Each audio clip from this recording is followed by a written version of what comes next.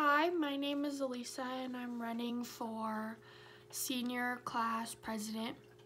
And if you don't know who I am or know, don't know what I do, I play a lot of sports, I'm organized, I'm responsible, and I want to make our senior year the best as possible and make everything so much better and I'll do so much work for everyone and make graduation really good and just have a lot of fun for our senior year and even plan reunions. So that's cool. So if you vote for me, which I think I'm the only one running, that would be awesome. Thank you for listening to me.